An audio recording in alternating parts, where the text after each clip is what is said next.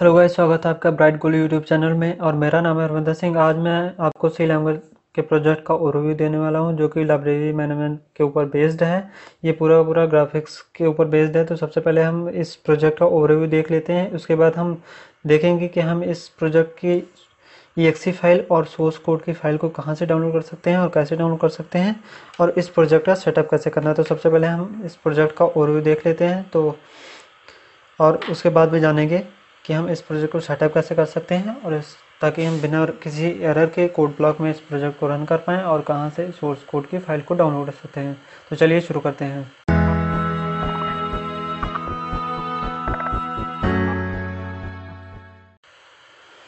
तो सबसे पहले मैं यहाँ फोल्डर ओपन कर लेता हूँ, जिसमें मैंने ई फ़ाइल रखी है तो ई ई फ़ाइल को ओपन कर लेता हूँ। आप देख सकते हैं प्रोजेक्ट कुछ इस तरह दिख रहा है, पूरा ग्राफिक्स के ऊपर बेस्ड है बट इसमें कोई ग्राफिक्स डॉट एच की फ़ाइल यूज़ नहीं की गई है। मैं यहाँ कुछ टेस्ट आपको करके दिखा देता हूँ, ताकि आपको पता लग जाए कि ये सॉफ्टवेयर एक्चुअल में काम कर रहा है कि नहीं कर रहा है। आप इसमें अकाउंट्स बना सकते हैं guest account and admin account पहले सबसे पहले अगर आप गेस्ट अकाउंट बनाना चाहते हैं तो एडमिनिस्ट्रेटर अकाउंट होना ज़रूरी है। तो सबसे पहले मैं एडमिनिस्ट्रेटर अकाउंट क्रिएट कर लेता हूँ यहाँ। हरविंदर यूज़र नेम डाल देते हैं। पासवर्ड डाल देते हैं।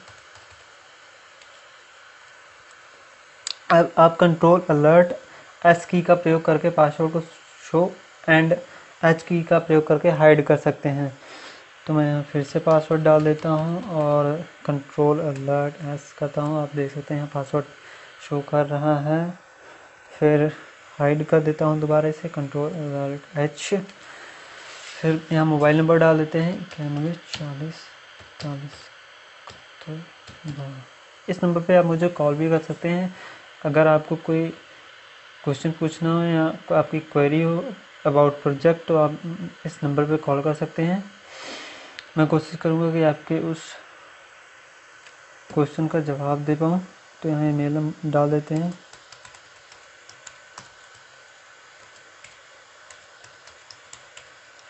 ईमेल डालने के बाद हम यहाँ बैकअप की डाल देते हैं। बैकअप की हम कोई भी डाल देते डाल सकते हैं।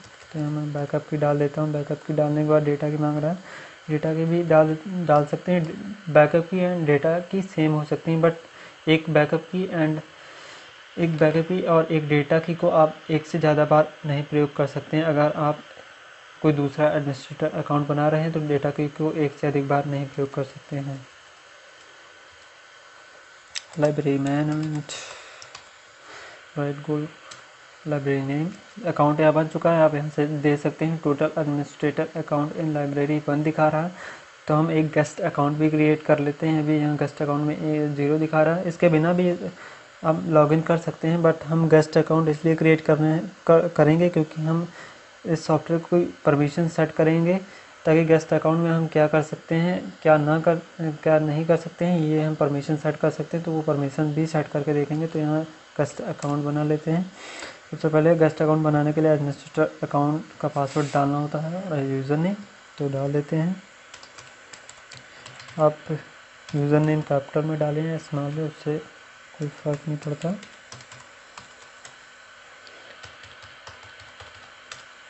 डाल देते हैं, यहाँ लॉगिन हो चुका है, यहाँ देख रहे हैं आप अकाउंट टाइप में गेस्ट अकाउंट बता रहा है। इसके बाद हम डालेंगे फ़र्स्ट नेम यहाँ first name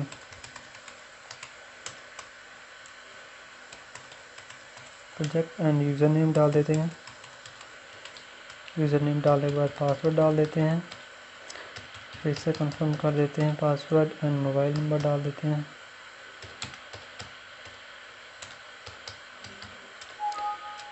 मेल डाल देते हैं। ब्लैंक था और हमने इंटर कर दिया, इससे वो इनवैलिड बताने लगा।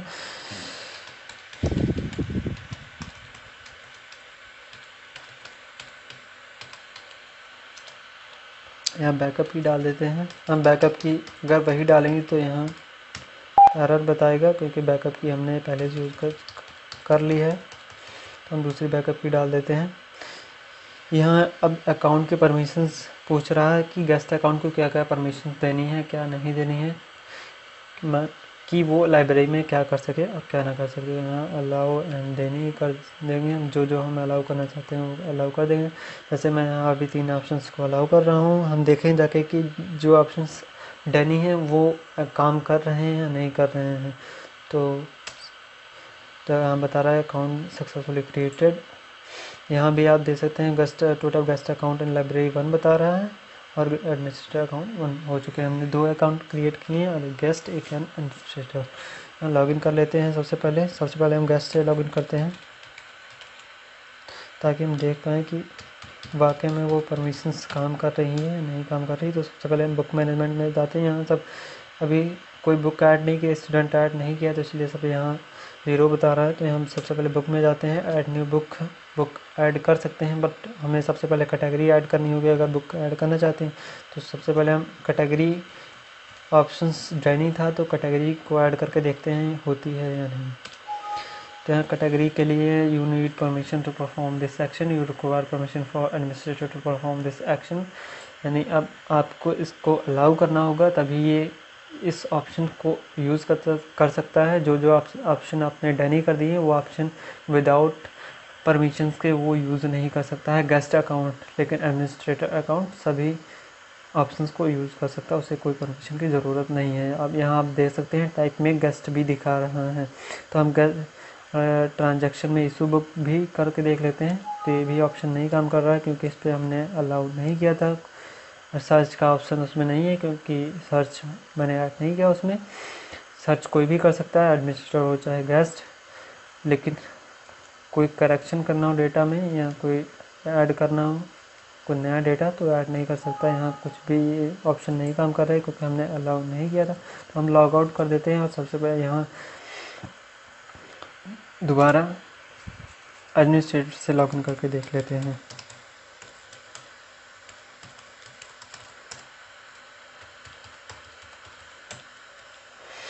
यहाँ आप देख सकते हैं अब यहाँ बुक को इशू करके देखेंगे। अगर इशू का ऑप्शन काम कर रहा है तो यानी सब काम कर रहा है। यहाँ देख सकते हैं, हम सारे फ़ंक्शंस वर्क कर रहे हैं। सर्च बुक सारे फ़ंक्शन वर्क कर रहे हैं। कैटेगरी में ऐड न्यू कैटेगरी भी काम कर रहा है। यानी एडमिनिस्ट्रेटर अकाउंट को कोई भी परमिशन की ज़रूरत नहीं होती, केवल गेस्ट अकाउंट को होती है। वो एडमिनिस्ट्रेटर सेट करता है कि इस गेस्ट अकाउंट को कौन कौन सी परमिशन देनी है, कौन कौन सी नहीं है। तो यहाँ सबसे पहले मैं एक बुक ऐड करके दिखा देता हूँ।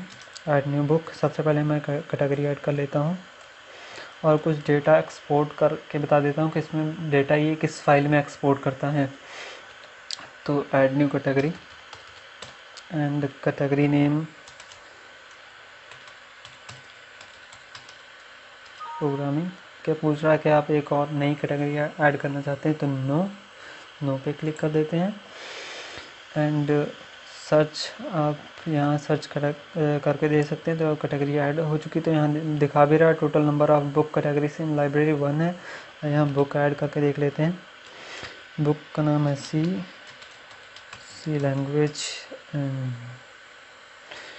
Dennis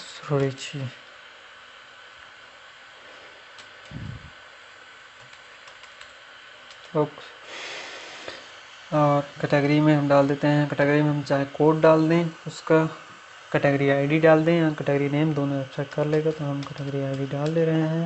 यहाँ प्रोग्रामिंग, उसका कैटेगरी का नेम आ चुका है, हम बुक का आईडी डाल देते हैं। बुक आईडी आप कोई भी डाल सकते हैं, बट वो बुक आईडी नहीं आप डाल सकते हैं, जो पहले से यूज़ की जा चुकी है। रैग नंबर डाल देते हैं, class rent rate and extra charge, book price and book quantity book add हो चुकी है, पूछ रहा है और बुक ऐड करनी है तो नो कर देते हैं।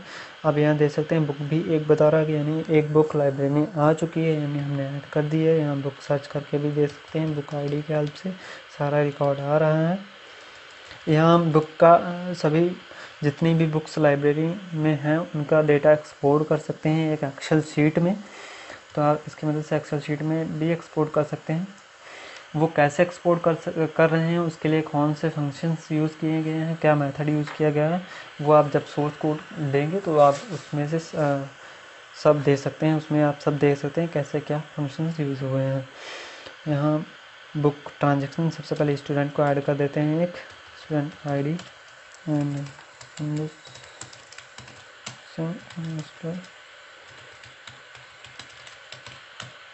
class five semester class 5a roll number 45 and year 2019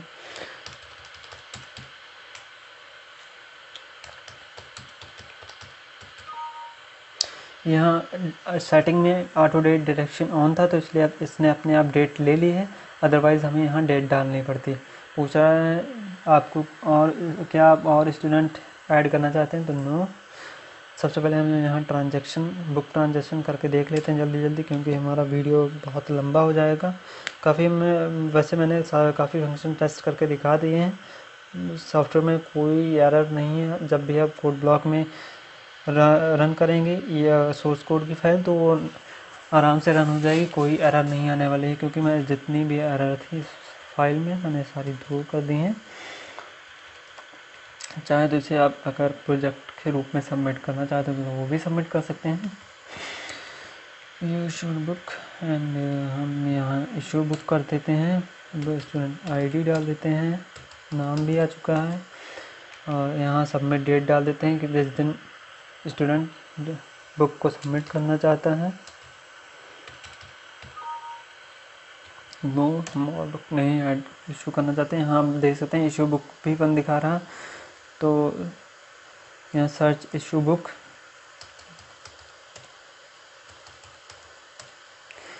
जब आप बुक सबमिट करते हैं तो अपने आप कैलकुलेट कर लेता है कि, जब आप बुक सबमिट की है, जब आपने उस दिन और जब आप सबमिट करने वाले हैं, उसके बीच डिफरेंस क्या है, वो अपने आप कैलकुलेट करके और जो आपने बुक में रेंट रेट डाला हुआ है, उससे कैलकुलेट करके बिल इन्वाइस बना देता है।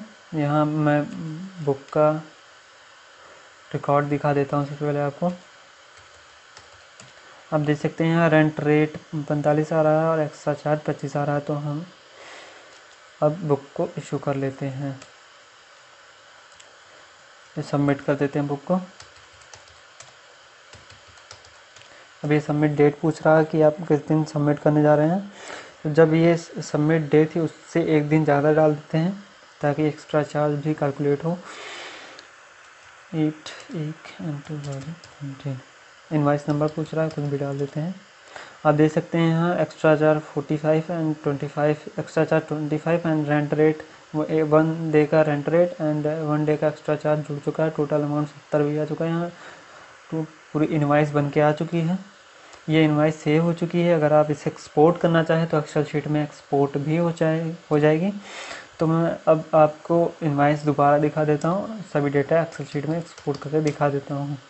उसके बाद हम जानेंगे कि कैसे हम इस प्रोजेक्ट को सेटअप कर सकते हैं सोर्स को डाउनलोड कर सकते हैं, हम देख सकते हैं यहाँ इन्वाइस भी आ चुकी है। तो सबसे पहले मैं यहाँ एक्सपोर्ट कर देता हूँ। एक्सपोर्ट इशूड बुक अभी इशू बुक कोई भी नहीं है, इसलिए excel sheet empty excel sheet आ जाएगी, इसलिए हम इसे इससे भी एक्सपोर्ट कर इसे एक्सपोर्ट नहीं करेंगे। हम इसको एक्सपोर्ट आल इन्वाइस कर देते हैं, क्योंकि अभी एक इन्वाइस जनरेट होगी तो वो एक्सपोर्ट करके दिखा देते हैं। Export all invoice file name पूछ रहा है तो फ़ाइल नेम डाल देते हैं इनवाइस और इंटर मार देते हैं, ये बिल इन्वाइस क्रिएट हो चुकी है, और इसके डिफ़ॉल्ट फोल्डर में मिल जाएगी। बता रहा है Bright Gold export data okay हम मिनिमाइज कर देते हैं और देखते हैं ब्राइट गोल्ड में क्या वाकई इनवाइस बन गई है। तो यहाँ एक्सपोर्टेड डेटा फोल्डर मिल जाएगा। यहाँ इनवाइस बन चुकी है। आप देख सकते हैं यहाँ टोट, सारी कॉलम वाइज पूरा बिल एक्सपोर्ट हो चुका है। अगर एक से ज़्यादा बिल होते तो वो भी यहीं कॉलम वाइज सारे एक्सपोर्ट हो जाते। एक से ज़्यादा बिल होते तो वो भी कॉलम वाइज यहाँ एक्सपोर्ट हो जाते। इसी तरह आप बाकी सारे डेटा को भी एक्सपोर्ट कर सकते हैं, जैसे बुक स्टूडेंट के रिकॉर्ड्स हैं, उनको भी एक्सपोर्ट कर सकते हैं। सभी स्टूडेंट के रिकॉर्ड एक एक्सेल शीट में एक्सपोर्ट हो जाएँगे, जैसे इन्वाइस हो गया। लॉग आउट अब हम इसकी सेटिंग्स देख देख लेते हैं। ये सेटिंग आप लेफ़्ट या राइट की से ऑन ऑफ़ कर सकते हैं, या ज़ीरो एंड वन वन से ऑन ऑफ़ कर सकते हैं। तो यहाँ ऑटो डेट डिटेक्शन ऑन था, इसलिए वहाँ अपने आप डेट डिटेक्ट कर ले रहा था, जहाँ डेट की ज़रूरत थी। प्रेजेंट डेट की जहाँ ज़रूरत थी, वहाँ डिटेक्ट कर रहा था अपने आप। अब जब आप ये ऑफ़ होगा, तब वो अपने आप डेट डेट नहीं डिटेक्ट करेगा, आपको वहाँ फिल करनी पड़ेगी। तो यहाँ सेटिंग से आप इसकी सेटिंग्स को मैनेज कर सकते हैं। मैनेज अकाउंट से आप manage password user name change कर सकते हैं। अगर यहाँ रूल एंड इंस्ट्रक्शंस दिए हुए हैं सॉफ्टवेयर के कि कैसे ये सॉफ्टवेयर यूज़ करना है, क्या क्या शॉर्टकट कीज़ है। सारे इंस्ट्रक्शंस दिए हुए हैं। एंड अबाउट दिया हुआ है यहाँ। तो फ्रेंड्स हमने सेटअप पूरा ओवरव्यू इस प्रोजेक्ट का दे चुके हैं कि ये सॉफ्टवेयर कैसा है कैसे काम कर रहा है इसका डेटा स्ट्रक्चर कैसा है। यहाँ हम ये भी दे, दिखा देता हूँ मैं आपको कि ये कैसे मैं मैनेज कर रहा है डेटा को। जो आपने बैक यहाँ डेटा की डाली थी उसी के नाम से ये फोल्डर बना रहा है। जब भी आप नया एडमिनिस्ट्रेटर अकाउंट बनाएँगे उसमें नई डेटा की डालेंगे तो वो अलग अलग अकाउंट के लिए अलग अलग फोल्डर बना के डेटा को मैनेज करता है। यहाँ ये देख सकते हैं आप ई फ़ाइल है, इस पर आइकन लगा है तो मैं ये सब बता देता हूँ कि आप कैसे सेटअप करें इस प्रोजेक्ट का ताकि बिना किसी एरर के ये रन हो जाए। तो सबसे पहले जब आप इस प्रोजेक्ट को डाउनलोड करेंगे तो आपको ऐसी एक जिप फ़ाइल मिल जाएगी, इसको एक्सट्रैक्ट कर देना है। Extract to library system with graphics extract करने के बाद आपको एक फ़ोल्डर में एक्सट्रैक्ट कर देंगे। एक्सट्रैक्ट करने के बाद जब ओपन करेंगे तो उसमें आपको एक कॉन्टैक्ट अस टेक्स्ट फ़ाइल मिलेगी, जिससे, जिसमें कॉन्टैक्ट नंबर भी मिल जाएगा मेरा। एक हेडर फ़ाइल मिलेगी, एक आइकन फ़ाइल मिलेगी, क्योंकि सी लैंग्वेज में जो है आई सी ओ फ़ाइल ही सपोर्ट करता है तो जब आइकन हमको सेट करना होगा, उसके लिए हम आई सी ओ फ़ाइल ही यूज़ कर सकते हैं। पी एन जी या जे पी जी वगैरह नहीं उसमें सपोर्ट करता है। तो ये आई फ़ाइल मिल जाएगी आपको, और ये यहाँ आपको एक डॉट सी एक्सटेंशन की फ़ाइल मिल जाएगी और एक लाइब्रेरी डॉट फ़ाइल मिल जाएगी, जो पहले से कंपाइल्ड फ़ाइल है। तो सबसे पहले मैं यहाँ सेटअप करके दिखा देता दिखा देता हूँ। सबसे पहले करना आपको क्या होगा कि यहाँ ये फ़ाइल डिलीट कर देता हूँ, क्योंकि अभी ये सॉफ्टवेयर से बन गई हैं। जब भी हम सॉफ्टवेयर को रन करते हैं तो ये फाइलें बन जाती हैं ऑटोमेटिकली यहाँ इस कस्टम डॉट एच को कॉपी करना है यहाँ से। कॉपी करने के बाद आपको कंप्यूटर ओपन करना है और सी ड्राइव में चले जाना, फिर प्रोग्राम फ़ाइल में चले जाना है, फिर कोड ब्लॉक में। कोड ब्लॉक को ओपन करने के बाद मिन जी डब्ल्यू में चले जाना, फिर इंक्लूड फोल्डर में चले जाना। इंक्लूड फोल्डर में जा, जाने के बाद आप देखेंगे कि बहुत सारी हेडर फाइल्स यहाँ पड़ी हुई हैं। इसी फोल्डर में आपको ये कस्टम डाट एच वाली हेडर फ़ाइल पेस्ट कर देनी तो मैं यहाँ पेस्ट कर देता हूँ। फ़िलहाल मैंने यहाँ पहले से ही पेस्ट करके रखी है ये फ़ाइल तो यहाँ पेस्ट नहीं हो सकती दोबारा। मैं इसे कैंसिल कर सकता हूँ, लेकिन आपके कंप्यूटर में ऐसा नहीं होगा। आपके कंप्यूटर में ये आराम से पेस्ट हो जाएगी, क्योंकि पहले से वो फ़ाइल मौजूद नहीं होगी।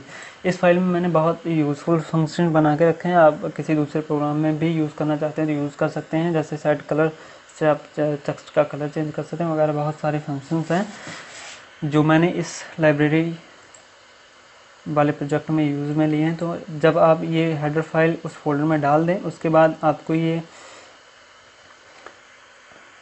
डॉट सी एक्सटेंशन वाली फ़ाइल किसी भी टेक्स्ट एडिटर में ओपन करने के बाद यहाँ से सारा टेक्स्ट यहाँ कोड कॉपी कर लेना है। कॉपी करने के बाद यहाँ मैं कोड ब्लॉक ओपन कर लेता हूँ। कोड ब्लॉक में एक नया प्रोजेक्ट क्रिएट कर देते हैं। आपको जब यहाँ कंसो कंसोल एप्लीकेशन चूज़ करना है क्योंकि अगर ये कंसोल बेस्ड एप्लीकेशन है, अगर आप कोई दूसरा चूज़ करेंगे ऑप्शन तो ये प्रोजेक्ट रन नहीं होगा। यहाँ सी लैंग्वेज को चूज़ कर लेते हैं। नेक्स्ट यहाँ डिफ़ॉल्ट ड्राइव ई सेलेक्टेड है यहाँ प्रोग्राम्स आप चाहें यहाँ ब्राउज़ करके कोई दूसरी ड्राइव भी सेलेक्ट कर कर लेते हैं। फ़िलहाल मैं डेस्कटॉप सेलेक्ट कर देता हूँ, ताकि आप अच्छे से समझ पाएँ। यहाँ प्रोजेक्ट का टाइटल दे देता हूँ ब्राइट गोल एंड नेक्स्ट कर देते हैं एंड फिनिश कर देते हैं। फिनिश करने के बाद यहाँ आपको लेफ़्ट या राइट साइड में एक मैनेजमेंट का ऑप्शन दिखाई देगा। मैनेजमेंट का, उसी के नीचे आपको ब्राइट गोल आप जो, जिस नाम से आपने प्रोजेक्ट बनाया होगा, फ़िलहाल मैंने ब्राइट गोल के नाम से बनाया तो इसी नाम से आपको ये एक आपका प्रोजेक्ट दिखाई देगा उसमें सोर्स कोड फोल्डर को ओपन करने के बाद मेन को ओपन कर लेना है। इसमें से जितना भी टेक्स्ट लिखा है, इसको रिमूव कर देना है और यहाँ जो कॉपी किया था, उसको पेस्ट कर देना है। जब आप इसको पेस्ट कर देंगे, इसके बाद जब आप इसको रन करेंगे, अगर आपने हेडर फ़ाइल वहाँ उस फोल्डर में डाली होगी तो सक्सेसफुली रन हो जाएगा, कोई भी एरर नहीं आएगी। तो यहाँ मैंने ये पेस्ट कर दिया। पेस्ट करने के बाद हम इसको रन करके देखते हैं।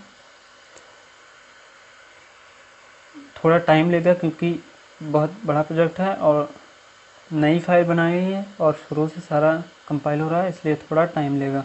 ये आप कम, सक्सेसफुली कंपाइल हो चुका है, कोई भी एरर नहीं आई है।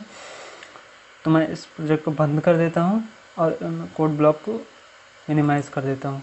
अब यहाँ आप देखेंगे कि डेस्कटॉप मैंने डेस्टिनेशन में सेट किया था तो यहाँ ब्राइट गोल एक प्रोजेक्ट का फोल्डर आ चुका है। इस प्रोजेक्ट में आपको ये बिन फोल्डर के अंदर डिबग फोल्डर के अंदर एक ई फ़ाइल मिलेगी बट अभी नहीं मिलेगी। दोबारा हम इस फ़ाइल को कंपाइल कर देते हैं।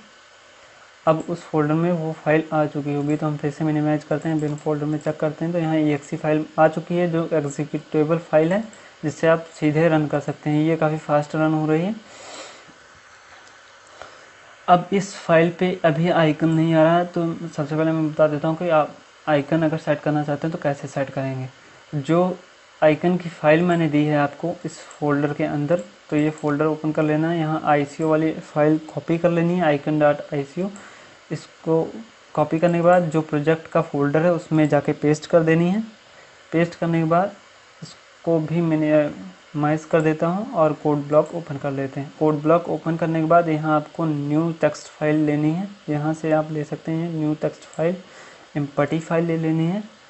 यस कर देते हैं। You want to add new file yes and इसको डॉट आर एक्सटेंशन से सेव कर देना है। तो मैं icon dot R C extension से सेव कर देता हूँ। अगर आप आर सी एक्सटेंशन से सेव नहीं करेंगे तो वो आइकन वहाँ बिल्ट नहीं होगा ई फ़ाइल के साथ। तो यहाँ सेव कर देते हैं डॉट आर सी एक्सटेंशन देकर।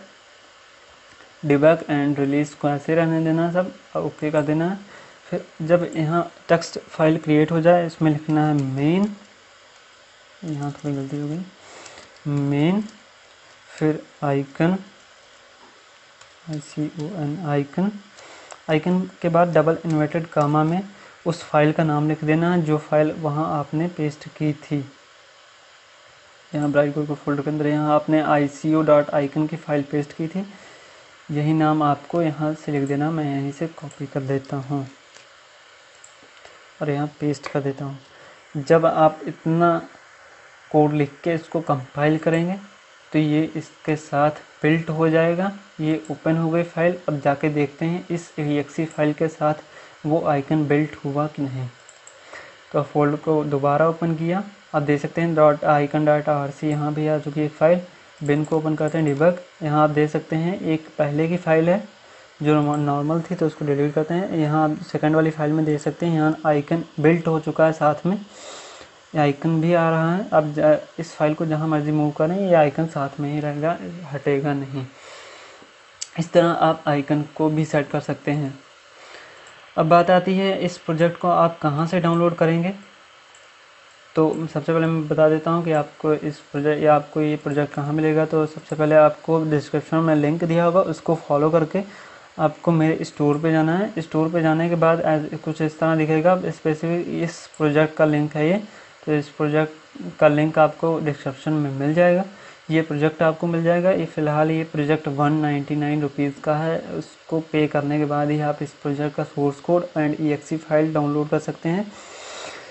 फ़िलहाल अभी तो पेड ही प्रोजेक्ट है, इस स्टोर पे अवेलेबल हैं, लेकिन फ्री प्रोजेक्ट भी डालने वाला हूँ, बट पेड प्रोजेक्ट इसलिए डालता हूँ क्योंकि उस, उसमें बहुत ज़्यादा मेहनत लगती है और एक, अगर आप इसको रन करेंगे तो कोई भी एरर आपको नहीं मिलेगी सक्सेसफुली रन हो जाएँगे, इसलिए थोड़ी बहुत ज़्यादा मेहनत लगती है। तो मैं, ये मिनिमम मिनिमम अमाउंट है, इसे आप आराम से पे कर सकते हैं वन नाइन्टी नाइन बहुत ज़्यादा अमाउंट नहीं हो गया। फ़िलहाल मैं कुछ फ्री प्रोजेक्ट भी डालने वाला हूँ बट उसमें कुछ एरर्स रहेंगी, वो आप डाउनलोड करने के बाद फाइंड आउट कर सकते हैं। अगर आप फ्री के प्रोजेक्ट डाउनलोड करना चाहते हैं तो यहाँ बैक जाके अगर आप कोई दूसरा प्रोजेक्ट लेना चाहते हैं तो यहाँ बहुत सारे प्रोजेक्ट्स दिए हुए हैं। यहाँ से आप कोई दूसरा प्रोजेक्ट भी चूज़ कर सकते हैं, जैसे library contact, mini snake game, ई फ़िलहाल आप जिस प्रोजेक्ट का ओवरव्यू देख रहे हैं तो वो ये प्रोजेक्ट है। तो आपको ये प्रोजेक्ट डाउनलोड करना चाहते हैं तो आप यहाँ से डाउनलोड कर सकते हैं। बाई नाउ पे क्लिक करके आपको यहाँ पेमेंट कर देनी है। ये एकदम सिक्योर पेमेंट गेटवे है स्टोमोजो का तो आप यहाँ से पेमेंट करने के बाद डाउनलोड कर सकते हैं। डाउनलोड करने के बाद आपको ऐसी एक जिप फ़ाइल मिल जाएगी जिसमें सारा मटेरियल मिल जाएगा। तो ऐसा है कि आपको ये वीडियो पसंद आई होगी। अगर आपको ये वीडियो अच्छी लगी तो इस वीडियो को लाइक करें और इस चैनल को सब्सक्राइब करना ना भूलें, ताकि जब भी मैं कोई नई वीडियो डालूँ तो उसकी नोटिफिकेशन आपको मिल जाए।